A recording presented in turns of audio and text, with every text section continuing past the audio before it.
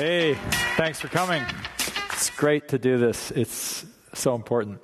The title of this talk uh, comes originally from Abraham Lincoln in the Gettysburg Address. Uh, you probably recognize the context if you're an American. Uh, we've been using it lately at Code for America, and I'm going to come to that. But I want to start by saying it also so important in the work that we do here. All the talks are about people and how they fit in technology. And I started thinking about this again recently uh, because uh, this quote came to mind from a number of sources. Uh, it was during the Q&A of a talk I gave in 2008 at Fidelity Investments. And somebody said, "We know about all these new technologies. What we don't know is how to organize ourselves to use them effectively."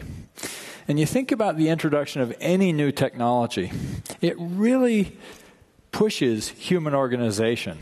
And so, of course, you know, you think about the history of the assembly line, but more recently, open source software, you know, wikis, uh, the web itself, you know, organizations of, or networks like uh, Airbnb or Uber, or even the Apple, uh, the Apple uh, Store, where they're using the power of smartphones to totally rethink the workflow of the store.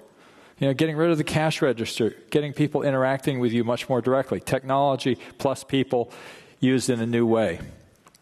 So, all these things are new ways of organizing people. But when that Fidelity executive raised the question, I think he was probably thinking more of the world you live in, uh, you know, of, of DevOps. You look at all these uh, ebooks from O'Reilly, and you know, you look at the titles, you know, building a DevOps culture, anti-fragile systems and teams.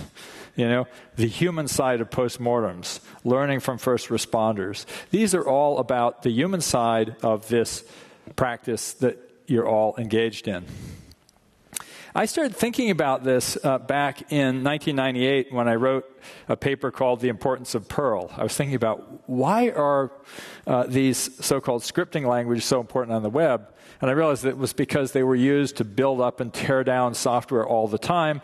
That led me down a path where I thought of von Kempelen's Mechanical Turk, uh, the 18th century hoax that purported to be a, a, you know, a robot chess player, but actually had a human hidden inside. And I thought, what a great metaphor for web apps. This is the big change of what became known as software as a service, cloud computing, and all that. There are humans still inside the application. You know, software used to be an artifact that you built, you shipped, and you were done. And now it's a continuing process, a workflow. And DevOps, in some sense, is the science of how, uh, uh the management science of that workflow. And this all came to mind again because of the healthcare.gov rescue. Now, you guys heard from Mikey Dickerson yesterday. There he is, third from the right on the cover of Time.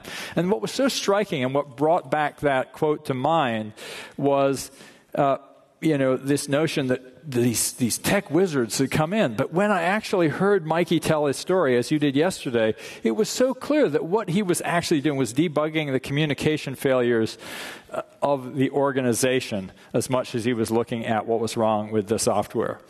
And, you know, so you heard him talk about how he did you know, stand-up meetings uh, for 17 hours. You know, he was working 17-hour days, lots and lots of meetings basically focused on why people weren't able to keep the promises they made to each other. And of course, it was like a textbook you know, story uh, out of the Phoenix Project. I don't know if you've ever read that book, but it's a great way if you want to get non-technical managers to understand uh, what you do.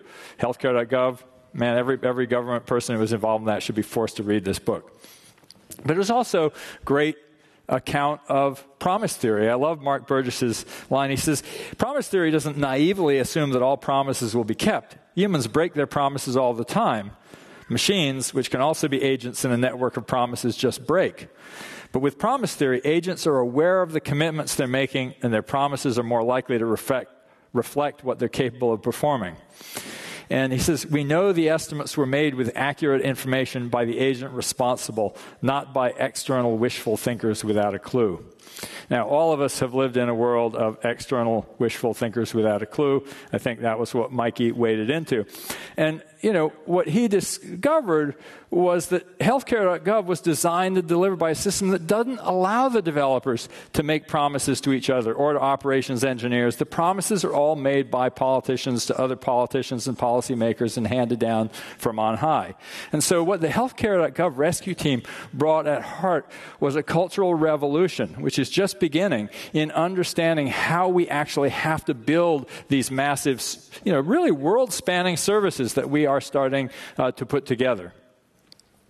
But there's another quote about DevOps that came to mind, and that's from Jeff Sussna's uh, post, Empathy, the, De- uh, the Essence of DevOps, where he said, It's not about making developers and sysadmins reporting to the same VP. It's not about automating your configuration procedures or tipping up a Jenkins server or running your applications in the cloud or releasing your code on GitHub. It's not even about letting your developers deploy their code to a platform as a service. The true essence of DevOps is empathy, understanding the other people that you work with and how you're going to work together more effectively. And that word empathy struck me, and it made me connect the world of DevOps with the world of user experience design. And the connection ran again through healthcare.gov and the failure. And in particular, this wonderful quote from Ezra Klein in one of the pieces he wrote about this. He said, One privilege the insured and well off have is to excuse the terrible quality of services the government routinely delivers to the poor. Healthcare.gov just showed what people who are on food stamps, for example, struggle with daily. And that brought me to the work we do at Code for America.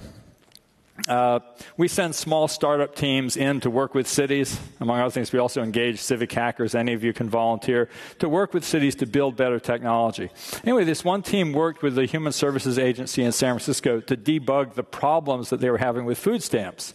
Now, if you want to understand food stamps, there's a great uh, series on uh, Marketplace. And uh, when I heard this, it was eye opening. A huge proportion of food stamps are spent at midnight on one day a month. The one day a month when people's what's called, now called a, a, supplemental nutritional assistance program card, SNAP card, are refilled. Right? Who goes shopping at midnight? People who are hungry. So this really matters if you get to the front of the line and suddenly your SNAP card doesn't work. Oh, why didn't it work? Well, it turns out that's the problem that the fellows went to debug. And it turned out no, until they did this, nobody had actually gone through the process with this eye of user experience design. And they found these letters that were pretty unintelligible even to them. And they ended up replacing them with a text message that essentially said, There's a problem with your benefits, call the office. You know? And that simple human intervention reduced churn in the system by 40%. But it was just putting themselves in the shoes of the user. And uh, um, Jake Solomon, one of the fellows, wrote a great post on Medium called People, Not Data, on disdain and empathy in civic tech. It starts user needs. An empathetic service would ground itself in the concrete needs of concrete people.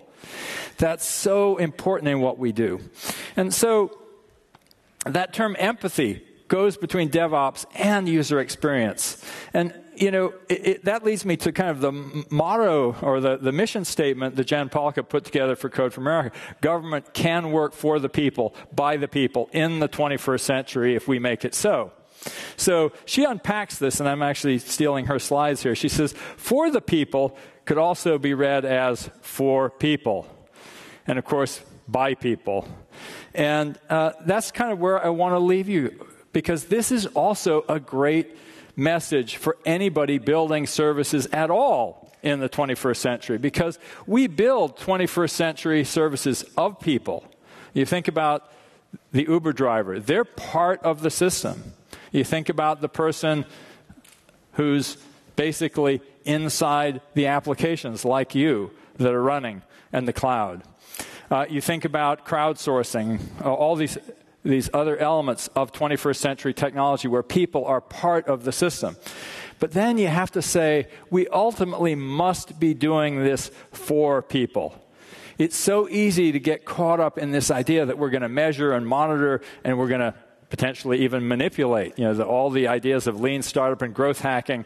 And it's super important that we don't just think about, well, this is a way to grow our business, uh, to get better results. It is a way to actually serve our audience, serve our customers. And that's why that word empathy is so much at the heart of what we should all be doing as we bring 21st century technology to work for people.